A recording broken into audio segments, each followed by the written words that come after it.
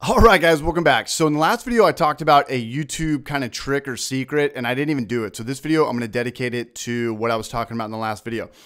Now, do people do this and get paid on YouTube? Yes. Is it morally and ethically okay?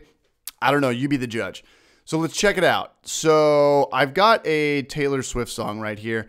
And first things first, the number one pe- the number one reason that people get busted for copyright infringements on YouTube is for stealing songs. Or not stealing songs, they'll just take a song from their iTunes library. Clearly they don't own it. This is Taylor Swift. Clearly I have no rights to this.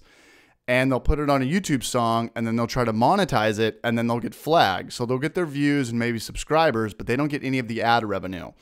Here's a way people have beaten the system.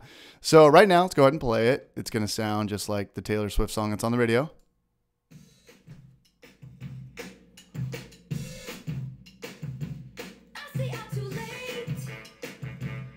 I don't know how YouTube does it, but they'll track you down from that song. It's the exact same, whether it's the tempo or the timing. I don't know what it is, but they will flag you if you say you own all the rights to that. So this is what people do.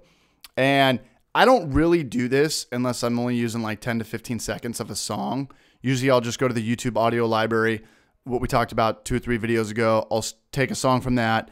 And then if I really need 10 or 15 seconds of a popular song, maybe if I'm chopping up a video and I've got 100 different edits and I feel like that part of the song would be good for that part of the video, I will use it.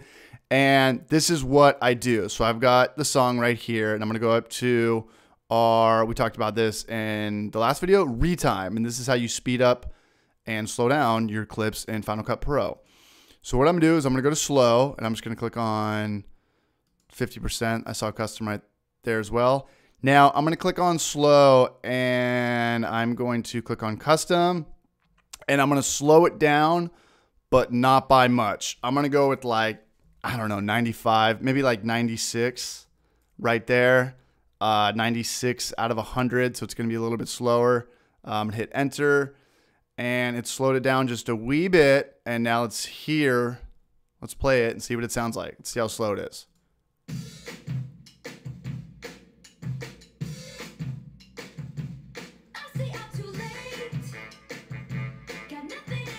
Uh, you might get flagged for that.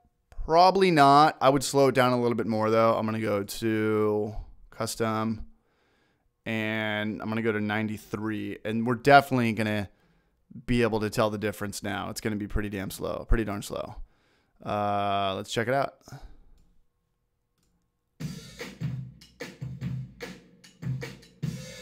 So that's how people do get away from putting songs on YouTube. They'll either speed it up or they'll slow it down.